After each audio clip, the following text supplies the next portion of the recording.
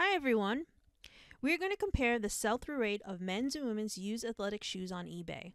I have eight brands to show you. Some are pretty obvious, but others may be new to you. Please note that all listings used for my data are items listed or sold for over $30. I'll also show you how I calculate a percent sell through rate for this video. Our first brand and most popular brand is Nike.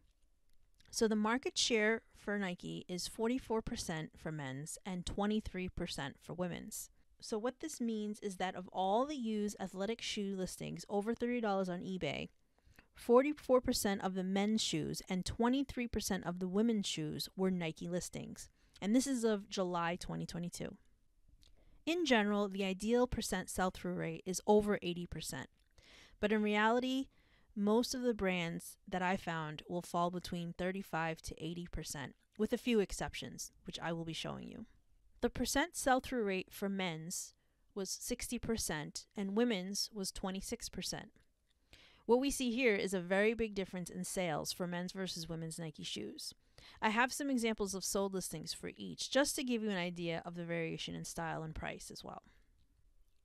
Before I show you the next brand, some of you may be wondering how I calculated the percent sell through rate. On eBay, I checked the number of sold listings over $30 for pre owned athletic shoes in the men's and women's sections, and I divided that number by the number of current listings in the exact same category. Then I multiplied by 100 to get the percent sell through rate. I have an example here of how I calculated the men's Nikes, and so there were 161,000 sold and 270,000 listings currently on eBay. Please note that the sold is 90 days. So I did that and I multiplied by 100. I ended up with 59.6 and I rounded to 60. Next up, we have a Bolo. This is One One. So the market share for this particular shoe isn't very large. For men, it's only 0.8%, and women, it's 1.5%. So there aren't a whole lot of these around. But if we take a look, the sell through rate is through the roof. So we have 176% for men's shoes and 125% for women's shoes. That means that there are more Hokas being sold than there are currently listed on eBay. That is a phenomenal number. And I have here some examples of different Hokas in case you haven't actually found these before. Our third shoe on the list is Brooks. So the market share for Brooks men's is 1.6%, women's is 6.7%. And if we take a look, the sell through rate for men's is very good. It's 78%. For women's, it's 35%. That's uh, half, roughly. So there is a big disparity here between the sales for men's and women's athletic shoes on Brooks as well. So we're seeing a pattern. Now, I do have examples of men's and women's solds here, and so you can take a look at the bottom.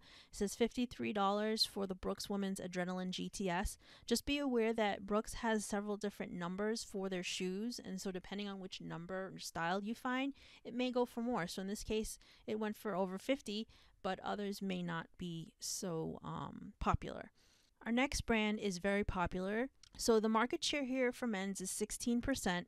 For women's, it's 0.66%. It's not very big. But let's take a look at the sell through rate. So for men's, it's fantastic 106% um, for men's Jordans. Now for women's, it's 59%. So not that great, but not terrible either. Now, honestly, I would love to make a separate video for you on Jordans alone because there's a lot of variation in prices. So be on the lookout in the future. Hopefully, I'll be able to get that out for you. Our fifth brand on the list is Adidas. So there are 11% for men's on the market share and 6% for women's. And sell through rate for men's is okay, it's at 67%, but you can see a huge difference here between men's and women's. Women's is only 19%. Um, I did provide examples again um, of women's and men's shoes that's sold on eBay currently, and so we have a few of the women's that I found went for good money, but you'd have to be really careful when you're checking the prices or the comps, is what resellers say. So just be careful when you're checking the comps for these shoes. All right, we have New Balance, and the men's market share is 5%, the women's is actually 8%, so it's a little higher for women's. And sell through rate for men's is 57%. Not that great, but okay. And then for women's, it's 24%. So again, less than half uh, for women's athletic shoes versus men's. We're seeing this over and over again here. our sixth brand up is ASICS. So the market share for men's is very small, 2%. For women's, it's a little more, it's 8%. And we can see here that the sell through rate for men's is 55% and the women's is 22%. So, again, overall, men's are selling better than women's. Um, just be aware of the fact that for many of these athletic shoe brands, there are different styles versions that have names that will determine whether there's a demand for them. So for these, we have at the top here in the middle, we have Asics Kayano. So that is one of the versions of Asics that does really well. It's $59.99 plus 11.75 shipping is the sold. And the same for women. So if you see the bottom right there, we have Asics Gel Kayano, and this is like 20th, 20th anniversary. So these are a specialty shoe, and that's why they went for $49.99 plus 12 shipping. Um, another one to look out for Asics is Nimbus. So if you look in the top right, you can see Asics Men's Gel Nimbus went for $53 um, and free shipping. So it actually sold for a little less than that technically. Um, and then for women's in the bottom left, you can see Asics Nimbus went for $39.99 plus $10 shipping. So depending again on which version of the shoe you have, um, these may actually sell better. So just be aware of that. Up next, we have Reebok. Uh, market share for these men's is 2%, women's is 3%. This is a very small market share again. And the sell through rate is not good for either of these. So men's is 35%, women's is 14%. So again, women's is half the sell through rate of men's, and neither is very good. So when you're looking at Reebok, um, be very cautious. So I have sold some vintage Reebok. So again, this company's been around for a while. At the bottom left, we have one that sold for $30 and $9.45 shipping. And then in the center bottom for women's, I also have the newer version of the Reebok. Um, it has that new logo with the triangle shape. And this one went for $49 in 8 shipping. So these are going to be um, hit or miss on resale value. Our last and final shoe is Puma.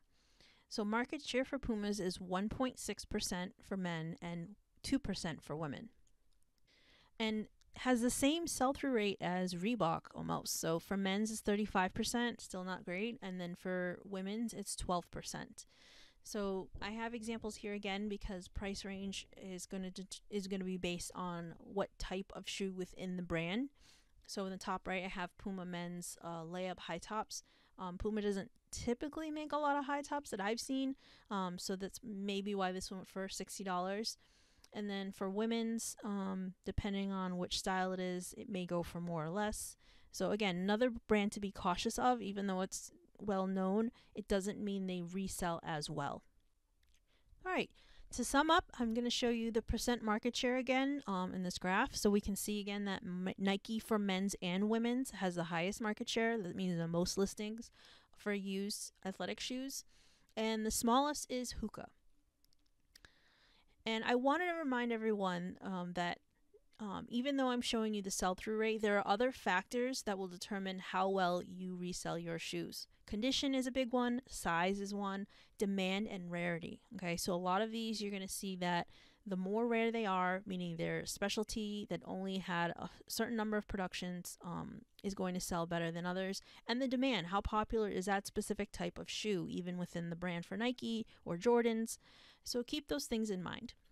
And then finally, I have my big summary chart of all the sell through rates so you can see them all together. And so we rank them. Hoka is number one for sell through rate, Jordan's is number two, then Brooks, then Adidas, then Nike, um, then New Balance and Asics and Reebok and Puma are at the very bottom. Just be aware that for Adidas, they don't sell as well for women's as they do for Nike. So this ranking is based more on the men's sell through rate, but for women, it's kind of consistent, just at a lower percentage, except for these two. So Adidas is less than um, Nike, New Balance, and Asics for women's used shoes. And I hope you enjoyed this video. I hope it was useful. Again, leave me a comment let me know what you think and if you have any requests for future videos. Thank you for watching.